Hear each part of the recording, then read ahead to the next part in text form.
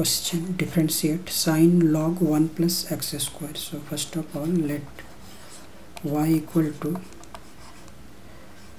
sine log 1 plus x square now differentiate with respect to x. So dy upon dx equal to derivative of sine log 1 plus x square तो इस question को हमें solve करने के लिए इसमें chain rule use करना पड़ेगा, क्योंकि इसको हम डायरेक्ट डिफ्रेंशिएशन नहीं कर सकते इस साइन को हमें log one plus x square के रिस्पेक्ट में डिफ्रेंशिएशन करना होगा। लॉग को वन प्लस एक्स स्क्वायर की और वन प्लस एक्स स्क्वायर को एक्स के रिस्पेक्ट में। तो हम चेन रूल के थ्रू इसके रिस्पेक्ट को चेंज कर देंगे। तो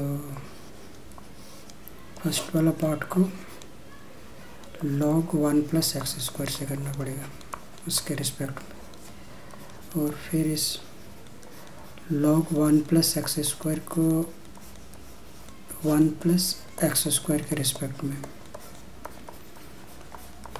और इस वन प्लस एक्स स्क्वायर को एक्स के रिस्पेक्ट में। सो इक्वल टू साइन का फॉर्मूला होता है कॉस और कॉस एक्स होगा तो ये होगा cos log one plus x square.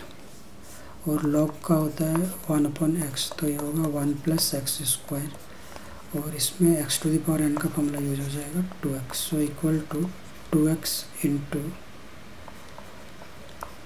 cos log one plus x square